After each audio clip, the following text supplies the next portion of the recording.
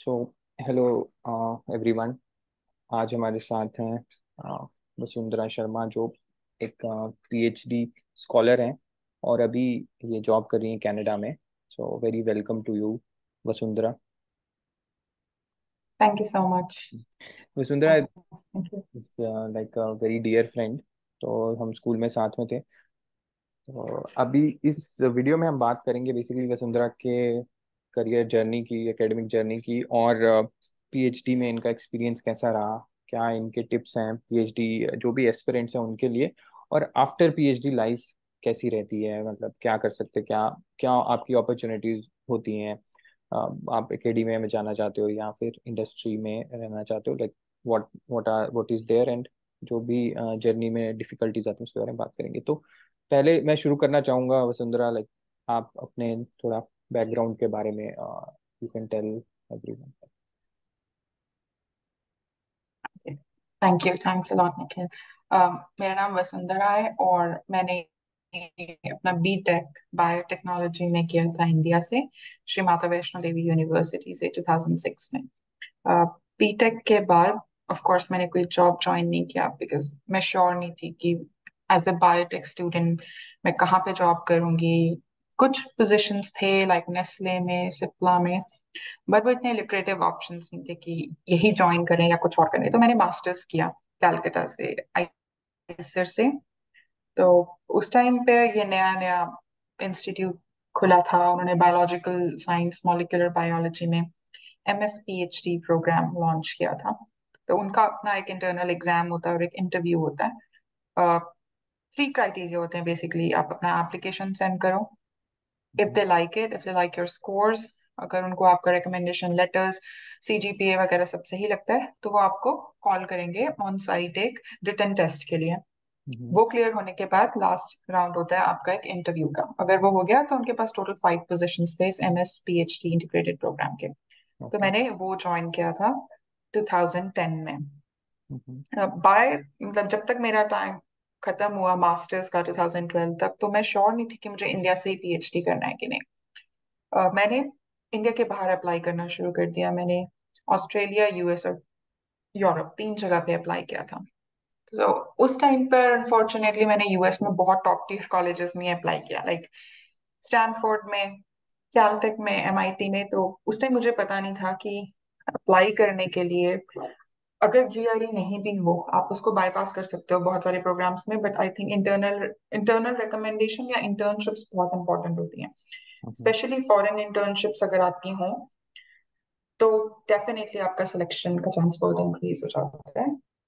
तो और मैंने बहुत ज़्यादा हाई एंड कॉलेजेस में भी अप्लाई किया था तो मैं उसके बाद मैंने सोचा कि मैं यूरोपियन कॉलेजेस चूज़ करती हूँ। मे बी वो उतने हाई प्रोफ़ाइल नहीं भी होंगे बट स्टिल अगर आपके पास मास्टर्स है you have a better chance specially अगर आपका रिसर्च ट्रैजेक्टरी जो इंडिया में रहा है वो उनके रिसर्च टॉपिक से मैच कर जाता है. जैसे मेरा ऑन्कोजेनेसिस में था तो मेरा जो बैकग्राउंड था मास्टर्स का वो एग्जैक्ट फिट बैठा इटली के एक एजुकेशनल इंस्टीट्यूट से एक यूनिवर्सिटी से जो एक पब्लिक यूनिवर्सिटी से थी. थी. तो इस तरीके से मैंने वहाँ पर अपना पीएचडी ज्वाइन कर लिया जो थ्री एंड हाफ़ ईयर्स करा तो. बताने के लिए जस्ट यूरोपियन पीएचडी का जो ड्यूरेशन होता है बहुत छोटा होता है कंपेयर टू अमेरिकन पीएचडी का। हम उस बारे में भी बात कर सकते हैं कि क्या सिलेक्शन क्राइटेरियाज हैं जो अलग हैं और कहाँ आपको ज़्यादा चांस है सक्सेस का। बट मैंने यूरोपियन एक यूनिवर्सिटी चूज़ की और वहाँ मैंने 2016 में अपनी पीएचडी कंक्लूड करके यूएस में मूव करने का सोचा फॉर अ पोस्ट डॉक क्योंकि अपॉर्चुनिटी ज़्यादा थी स्टाइपेंड बेटर थे पोस्ट डॉक के लिए। uh, मैंने चार साल एक पोस्ट डॉक किया फ्लोरिडा में मॉफिट कैंसर सेंटर में। अगेन मेरा पूरा ऑन्कोजेनेसिस में ही करियर ट्रैजेक्टरी था तो मैंने वहीं उसी फ़ील्ड में अपना पोस्ट डॉक भी किया। फिर अराउंड कोविड टाइम 2020 में आई वाज श्योर कि मैं यहाँ वीज़ा के लिए थोड़ा और स्ट्रगल करूँ या मैं पीआर अप्लाई करूँ जो काफ़ी लेंथी प्रोसेस था। Probably another seven years journey था पीआर लेना। तो मैंने कनाडा में मूव किया because I wanted to go to an industry मुझे लगा कि आफ्टर दिस पोस्ट डॉक मेरा जो इंक्लिनेशन है, वो एक बायोटेक फर्म में काम करने का ज़्यादा है. तो कनाडा में आकर मैंने यूनिवर्सिटी ऑफ़ टोरंटो में एज अ सीनियर साइंटिस्ट काम किया और close to one year McGill University में भी as a clinical research associate काम किया just to gain Canadian experience Canada में आने के लिए. और कनाडा में जॉब ढूँढने के लिए जो बहुत ज़रूरी है। At least one two two years किसी कैनेडियन यूनिवर्सिटी या फर्म के साथ कुछ एसोसिएशन में तो बेटर होता है। और फिर फाइनली मैंने परमानेंट पोजीशन ज्वाइन कर ली as an application scientist Sartorius AG Stedim में और मैं अब वहीं पर हूँ। Great great I think great journey did lot of things है ना? काफ़ी डिफरेंट डिफरेंट कॉलेजेस का एक्सपीरियंस रहा। बट मैं बहुत ही बेसिक सवाल इसमें यहाँ पे पूछना चाहूँगा कि आपको मतलब what motivated you to do PhD आप बचपन से ही या फिर कॉलेज टाइम से यू वर क्लियर कि यार मेरे को पीएचडी ही करना है। uh, या मतलब लाइक आप सोच रहे थे कि यार क्या जॉब करूँ पीएचडी करूँ? What was your motivation to start PhD हाँ, मतलब मोस्टली जो पीएचडी होते हैं उनके लिए स्टीरियोटाइप ये होता है कि लोग बहुत पढ़ाकू होते हैं। जो एक तरीके से सही है उनको बुक्स बहुत पसंद होती हैं। अपने लिए मैं ये कहूँगी कि मुझे डिटेल ओरिएंटेड होना बहुत पसंद था। नेचुरली बहुत इंक्विजिटिव थी मैं हमेशा से। तो जो कुछ भी मैंने बैचलर्स में और मास्टर्स में पढ़ा वो मुझे लगा कि I think I should explore more जैसे मैंने अगर अपना मास्टर्स का थीसिस पूरा एक डेढ़ साल का कैंसर के फ़ील्ड में किया मुझे वो इनफ नहीं लगा। हम्म। मुझे मास्टर्स खत्म करने के बाद लगा ही नहीं कि okay I am an expert in cancer और जो भी मैंने मास्टर्स में जो थीसिस लिखा है इट्स इनफ तो ऑफ़ कोर्स आप जब आपको एक बार कुछ एक्सप्लोर करने की आदत पड़ जाती है so there is no cap to it आप और हम्म। जानना चाहते हो। तो हम्म। इसी तरीके से मैंने सोचा कि why not do a PhD and learn more so it was just like a natural course कि ठीक है और जानने की कोशिश करते हैं इस फ़ील्ड के बारे में और ऑटोमेटिकली एक पीएचडी ऑफ़र आ गया अप्लाई करते करते यूरोप में और मैं पीएचडी एकेडमिया में चली गई कम्प्लीटली तो मतलब जो क्यूरियोसिटी थी आपके कॉलेज टाइम से मास्टर्स टाइम से, वो आपने कंटिन्यू करी and then you went for PhD so PhD India से नहीं करके इटली से करी या यूरोप से करी, उसका like what what was the reasoning behind that India में एक तो है कि ड्यूरेशन बहुत लॉन्ग है और इंडिया में भी आप पीएचडी अगर अपनी करनी है आपको फॉरेन कोलैबोरेशन तो चाहिए ही है। हम्म ऑलमोस्ट हर बड़े इंस्टीट्यूट है जैसे आईसर हो गया एनसीबीएस हो गया सीसीएमबी हो गया आईएससी हो गया जो बिल्कुल top four five premier research centers हैं। ये सब एक फॉरेन कोलैबोरेशन में काम करते हैं। और जो भी प्रोजेक्ट्स होते हैं उनका एक let's say one fourth of the part है वो किसी फॉरेन इंस्टीट्यूट जैसे एनआईएच में या इसराइल में या जर्मनी में मैक्स प्लैंक में कुछ ना कुछ कोलैबोरेशन रहता है तो ही ये प्रोजेक्ट सक्सेसफुल होते हैं। तो हम्म इस तरीके से मुझे बाहर की अपॉर्चुनिटीज़ के बारे में भी पता चला। तो मेरा प्राइमरी रीजन यही था कि मुझे ऐसा लगा कि बाहर अगर आपको अपॉर्चुनिटी मिलती है तो टेक्नोलॉजी एडवांसमेंट जो बाहर है आप उसको यूटिलाइज कर सकते हो। रादर देन यहाँ से एज अ विजिटिंग स्कॉलर आप जाओ अपने एक्सपेरिमेंट्स करने भी करो। हम्म। रादर देन इस क्रॉस कोलैबोरेशन को हैंडल करने के लिए। क्रॉस कोलैबोरेशन बाहर ज़्यादा होती है राइट और तो उसमें फ़ायदा रहता है अगर बाहर से करेंगे पीएचडी हाँ हम्म डेफिनेटली करो ना करो हो सकता है आपका कोलैबोरेटर आपके प्रोजेक्ट का वो पार्ट करके आपको डेटा भेजे। आप स्टिल सेकेंड लर्निंग कर रहे हो एक तरीके से।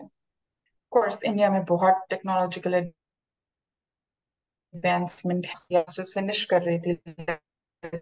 इन 2012 में।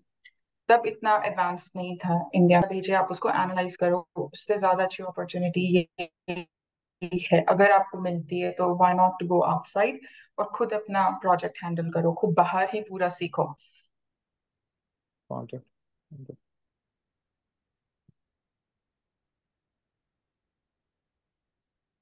तो इसमें हेलो हाँ जी।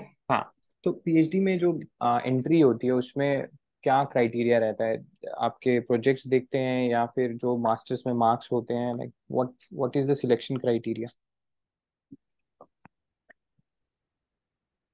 अब हर चीज़ का कॉम्बिनेशन होता है आवाज़ कट रही है अगर यूनिवर्सिटी एकेडमिक बहुत रिलाई करती है। डिपेंड करता है कि आप कहाँ होती है। जो कुछ साइकिल्स में बाईपास भी हो जाती है। अगर आप जीआरई के बिना भी अप्लाई कर तो कर सकते हो। मैंडेटरी डॉक्यूमेंट्स होते हैं कि good recommendation letters project proposal और आपका जो मास्टर्स रिसर्च प्रोजेक्ट है, what kind of benefit it can provide to them? How do you fit in their program? अगर आप उनके प्रोग्राम में अच्छे से फिट करते हो, अपने बैकग्राउंड के साथ, वो सबसे ज़्यादा लिक्रेटिव पॉइंट होता है आपके सिलेक्शन के लिए। और डेफिनेटली अगर आपका जो मास्टर्स थीसिस का सुपरवाइजर है और आपने जिनके साथ कोलैबोरेट किए अपने मास्टर्स थीसिस के ड्यूरेशन में, अगर अगर वो लोग आपकी फ्यूचर लैब जहाँ पे आप जाना चाहते हैं, उन लोगों को जानते हैं तो that actually gives you a good launch pad कि आप इजीली एक पीएचडी लैब में अपने लिए एक पोजीशन ले लो। यूरोपियन स्कूल्स थोड़े अलग सिस्टम से चलते हैं। वो इतना ज़्यादा भी रिकमेंडेशन लेटर्स पे रिलाई नहीं करते हैं। उनको आपके ग्रेड्स और आपका हैंड्स ऑन एक्सपीरियंस कितना ज़्यादा है, वो आपको एक्चुअली कहते हैं कि एक प्रोजेक्ट प्रपोजल लिख कर दो। सबसे बड़ा उसका रीजन ये है कि जो यूरोपियन पीएचडी है, वो शॉर्ट ड्यूरेशन की होती है। कोर्स वर्क का ज़्यादा टाइम नहीं होता कि आप वहाँ जाकर आपको छह या सात महीने मिलेंगे डिसाइड करने के लिए कि आप किस चीज़ पे पीएचडी करोगे। यूरोपियन स्कूल में आपको द मोमेंट यू लैंड आपको पता होना चाहिए कि आप किस चीज़ पे काम करने वाले हो। तो वो आपसे प्रोजेक्ट प्रपोजल मांगेंगे बहुत इलाबोरेटेड जो ज़रूरी नहीं है कि बिल्कुल यूनिक कोई आइडिया हो बट आपको ये ध्यान रखना है कि आप जो अपना प्रपोजल लिखो वो आप जिस पोटेंशियल लैब में अप्लाई कर रहे हो उनके रिसर्च मेथोडोलॉजी उनके रिसर्च डोमेन से काफ़ी मैच करता हो। और उनकी जो प्रीवियस पब्लिकेशंस हैं उनका एक्सटेंड ड्राफ्ट करते हो तो वो आपको बहुत हाई वेटेज देता है सिलेक्शन में।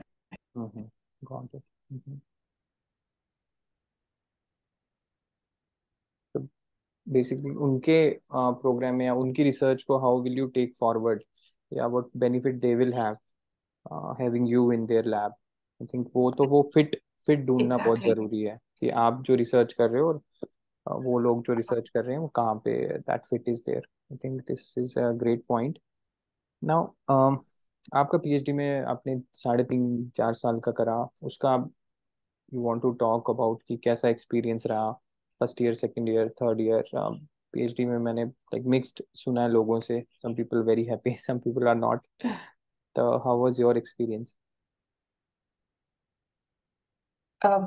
एक सेंटेंस नॉट एक्सट्रीमली डिफ़िकल्ट हर एक दिन चैलेंज है, वो अपना experimental design project proposal finalize करना होता है। अगर आपको पता भी है आप किस चीज़ पे काम करने वाले हो, पर आप क्या काम करने वाले हो, पहले आपको ये ढूंढना पड़ता है। आपका फ़र्स्ट ईयर डिसाइड करने में ही निकल जाता है वैसे तो कि आप किस चीज़ पे काम करोगे और जिस चीज़ पे काम करोगे वो वर्कआउट करेगी या नहीं। बहुत लोग इस फ़र्स्ट नीड में बहुत ज़्यादा डिमोटिवेट हो जाते हैं। कई लोगों का जो प्रोजेक्ट है वो फ़र्स्ट ईयर से ही काम करने लगता है। They feel happy and relax I will say but ये सबके साथ नहीं होता, ये हार्डली कोई five to ten percent population के साथ होता है कि जो आपने चूज़ किया हो फ़र्स्ट ईयर में topic experimental plan as it is work out कर जाए। PhD is all about taking in failures तो उसके लिए बहुत हाईली पॉजिटिव सेल्फ इमेज होना बहुत ज़रूरी है, क्योंकि आप अपने नेक्स्ट कॉलीग को देखोगे, उसके एक्सपेरिमेंट्स काम कर रहे हैं, उसने जो सोचा फ़र्स्ट ईयर में करने का, वो सब बहुत अच्छे से लेआउट हो गया और आपके साथ ऐसा नहीं हो रहा है तो आप सेल्फ डाउट में पड़ जाते हो। बट द थिंग इज़ कि research is not about this kind of competition right ये कोई एग्ज़ाम भी नहीं है कि किसके मार्क्स ज़्यादा आ रहे हैं। Everyone is exploring a different topic सबका अलग टॉपिक है। तो सेकेंड ईयर आपका एग्जीक्यूशन में निकल जाता है। अब आपने एक्सपेरिमेंट सोच लिए हैं प्रपोजल आ गया है, अब वो एक्सपेरिमेंट्स कंसिस्टेंटली काम कर रहे हैं कि नहीं, वो देखना बहुत ज़रूरी है। थर्ड ईयर आपका एप्लीकेशन ढूँढने में लग जाता है। जो आपने काम दो साल में स्टैब्लिश किया है, उसका कुछ फ्यूचर है नहीं? तो थर्ड ईयर और मैं यूरोपियन हिसाब से बात कर रही हूँ। अमेरिकन हिसाब से easily spend five to six years European school में थर्ड ईयर आपका पब्लिकेशन में निकल जाता है कि अब आप उसको स्टोरी फॉर्मेट में कैसे टाई अप करोगे। और उसको कैसे थीसिस में भी प्रेजेंट करोगे so that you can graduate by fourth year और finally is all about thesis जो भी आपने काम किया है, जो भी एक्सपेरिमेंट स्ट्रैटेजीज यूज़ की हैं आपको उन सबको ड्राफ्ट करना है। और थीसिस रिजेक्शन बहुत हाई होती है, बहुत ज़्यादा प्रूफ रीडिंग रहती है उसकी। और एक्सटर्नल एग्जामिनर्स हर साल आते हैं। एटलीस्ट जहाँ पे मैं थी right away from first year आपने जो भी काम किया, आपको उसको अगेन एक सेमाई थीसिस फॉर्म में लिखकर, एक एक्सटर्नल एग्जामिनर को भेजना होता है। और वो रिव्यू होकर आता है वापस, and then you have to take an exam after every year, and you are scored that कितना डाला और अपने आप अपने प्रोजेक्ट को कितना समझते हो, उसके बेसिस पे आपको इवैल्यूएट किया जाता है हर साल। और फाइनली अगेन एक कमिटी होती है लास्ट ईयर में, जो आपकी थीसिस करती है। एंड दे डिसाइड कि whether you are gonna graduate with magna cum laude या summa cum laude. या just like normal honors. Hmm okay तो ये एक यूरोपियन सेट तो इसमें आपका जो गाइड होता है पीएचडी सुपरवाइजर और मेंटोर तो वो आपकी हेल्प नहीं करता इसमें? It's like your self driven आपको खुद से ही सब करना ही is like a just a facilitator या what role does he or she play like the guide plays?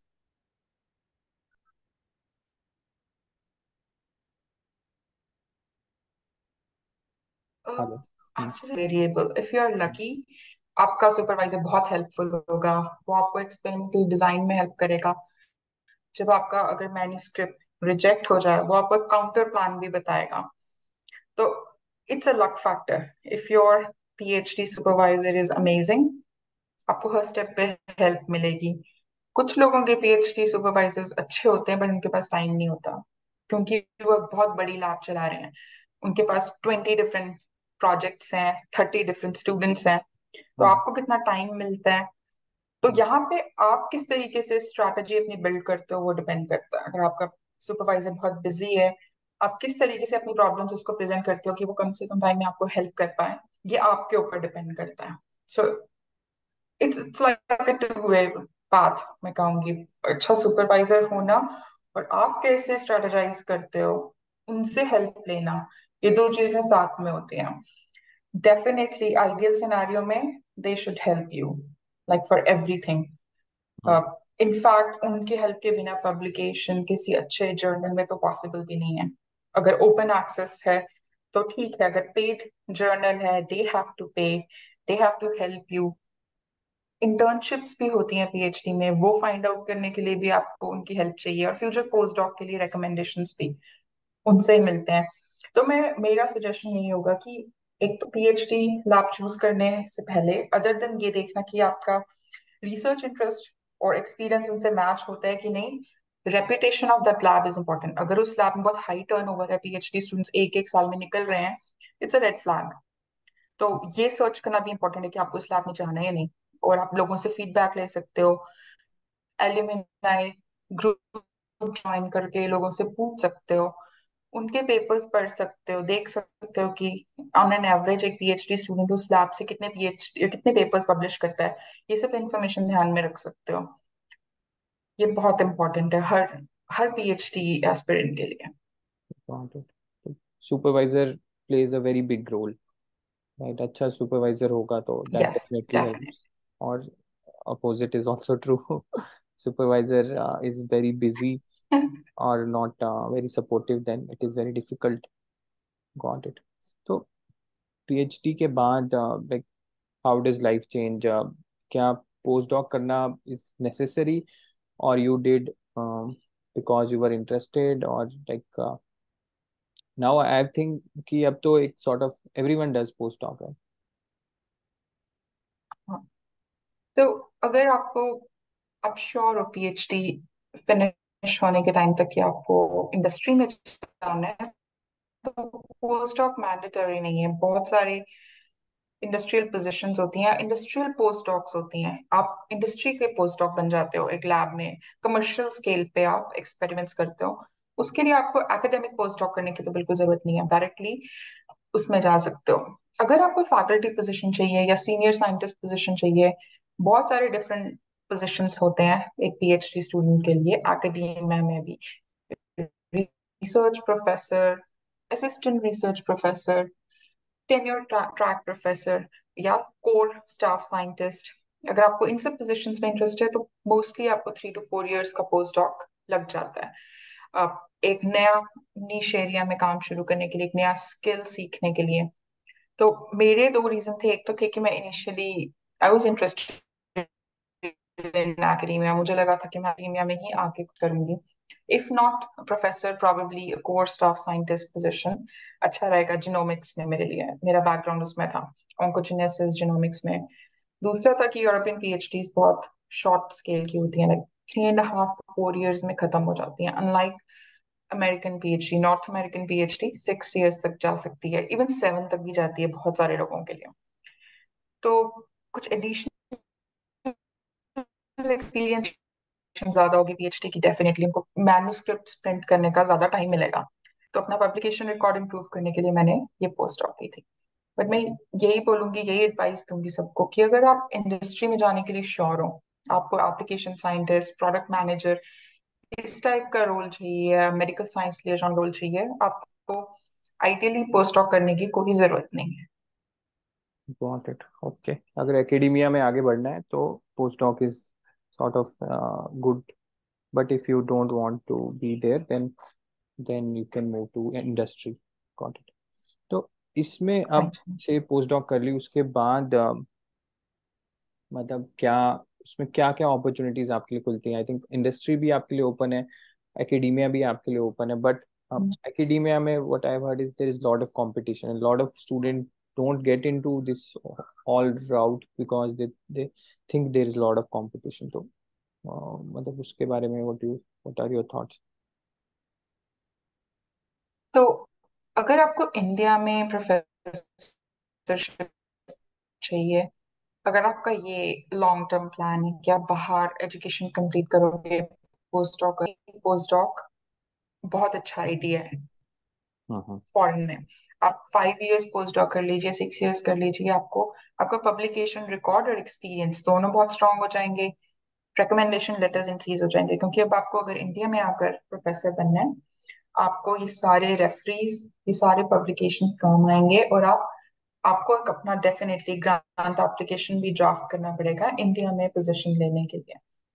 तो that's a good idea that's like one opportunity अब आपको अगर यूएस में ही या कनाडा में कहीं फॉरेन में अगर आपको फैकल्टी पोजीशन लेना है तो आपके आपके पास सबसे पहले परमानेंट रेजिडेंस होना बहुत ज़रूरी है। उसके बिना आप कंसिडर नहीं किया जाओगे specially as a visa holder क्योंकि जो भी असिस्टेंट प्रोफेसर पोजिशन निकलती हैं, इसके लिए बहुत हाई लेवल फंडिंग लगती है लाइक एनआईएच फंडिंग या डीओडी फंडिंग फेडरल फंडिंग्स और ये सिर्फ़ रेजिडेंट्स के लिए ओपन होती है। तो एक लैब चलाने के लिए जिस टाइप का जो फंडिंग लगता है मिलियंस में, वो एक वीज़ा होल्डर उसके लिए कंसिडर नहीं होता। इसीलिए वो उन्हीं एप्लीकेंट्स को कंसिडर करते हैं जिनके पास रेजिडेंस होता है। और अगर आप उस पाथ पे हो, आपको लगता है कि आप एक faculty position five to six years में अचीव कर सकते हो तो that's like one of the best opportunities मैं कहूँगी, किसी के लिए भी। अदर दैट अगर आप एकेडमिया में कोर स्टाफ साइंटिस्ट पोजीशन लेते हो लाइक आपको पता है आप, आपका स्ट्रेंथ कौन से एरिया में है?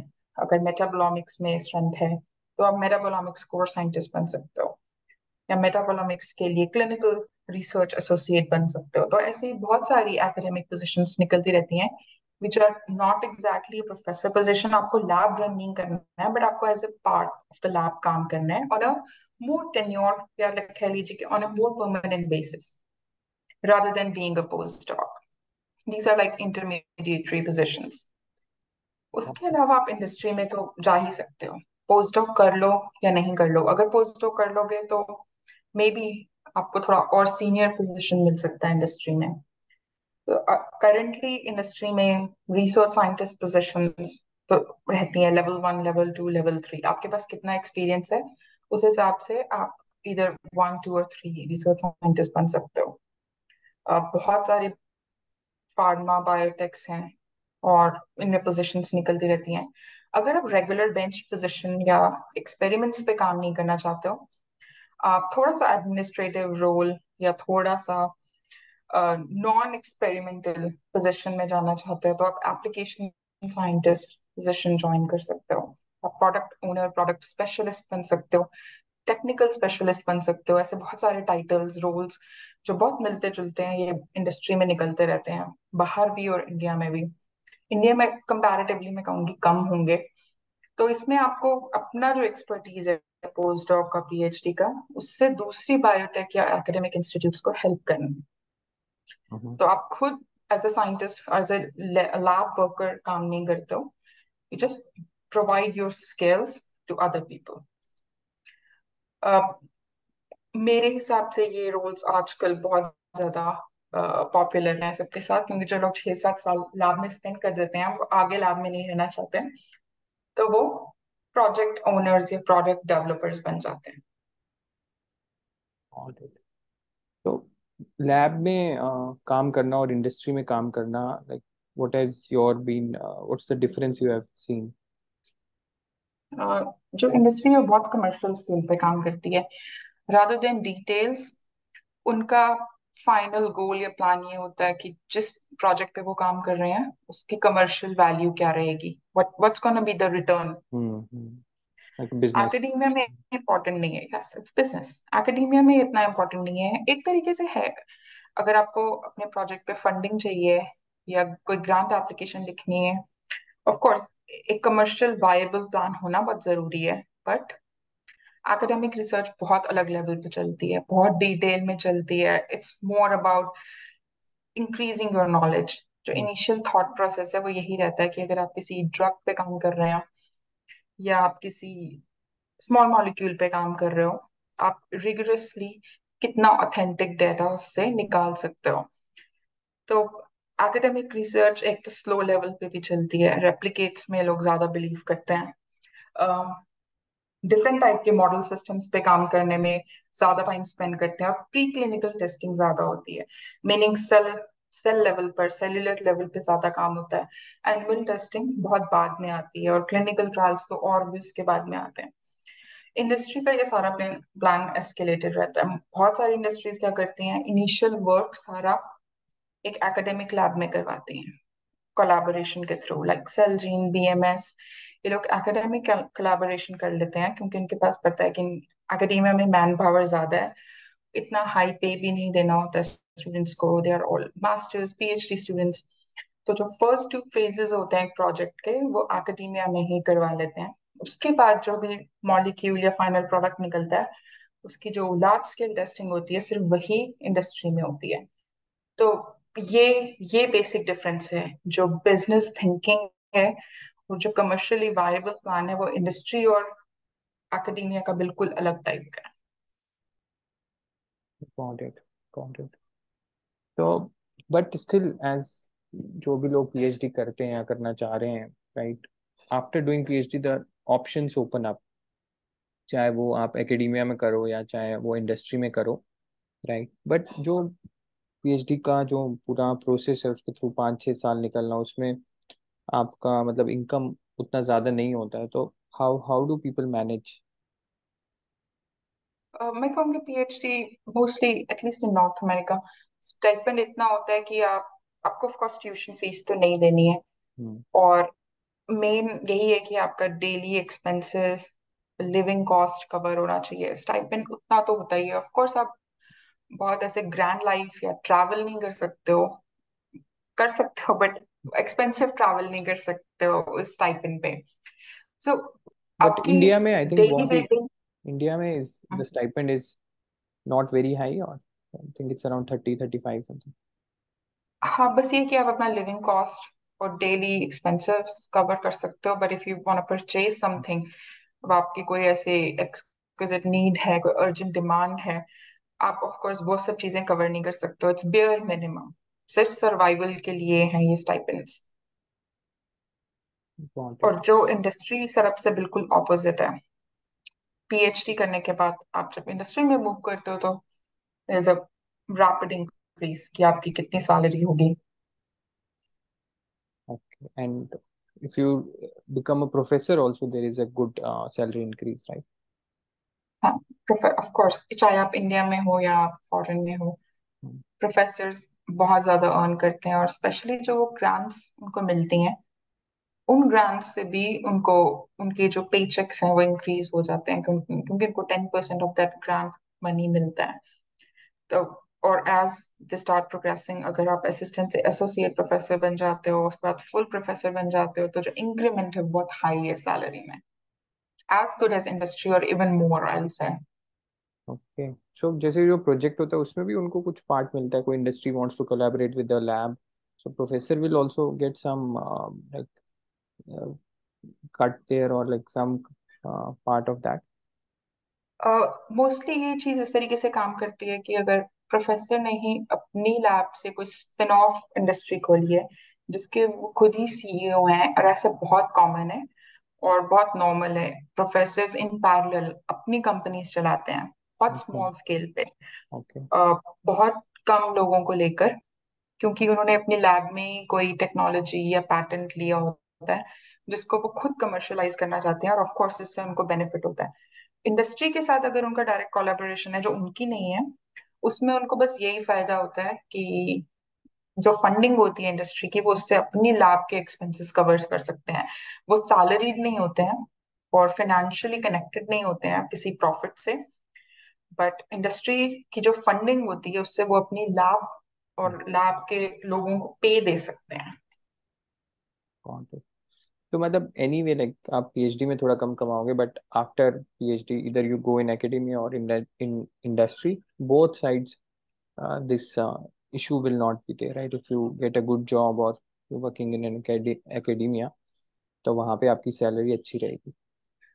इंडस्ट्री ओवरऑल आपको ज़्यादा पे करेगी कंपेयर टू एकेडमिक साइंटिस्ट कोई लैब साइंटिस्ट अगर रिसर्च साइंटिस्ट होगा एकेडमिक लैब में उसके कंपैरिजन में आपको एक इंडस्ट्री एज अ साइंटिस्ट ज़्यादा पे करेगी।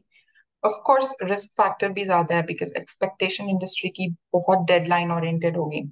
जो हम्म। एकेडेमिया में नहीं होती। बिकॉज़ दे अंडरस्टैंड कि you are working on something entirely new और आपको शायद पता भी नहीं है इस टाइम पर कि ये कमर्शियली वायबल होगा कभी फ्यूचर में कि नहीं। मोस्टली प्रोजेक्ट बहुत इनिशियल फ़ेज़ पे होते हैं प्री क्लिनिकल से भी पहले के फ़ेज़ में होते हैं। इंडस्ट्री में they pay you more but there is high risk involve to expectation बहुत हाई होती है। Got it.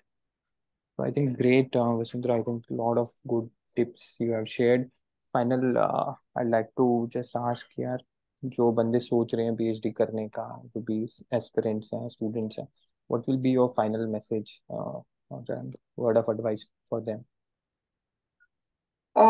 मेरा एडवाइस यही रहेगा कि I would say it's a good plan to do a PhD अगर आप अगर आप क्यूरियस हो by nature you like to explore new things you love doing experiments आपको एकेडमिया में बहुत हाई इंटरेस्ट है डेफिनेटली गो फॉर इट बहुत लोग कोसते हैं PhD करके कि ये फ्रूटफुल नहीं है, इससे अच्छा हम normal masters कर लेते, IT में चले जाते, इंफॉर्मेशन टेक्नोलॉजी में चले जाते तो हमको ज़्यादा बेनिफिट होता है ऐसा कुछ भी नहीं है।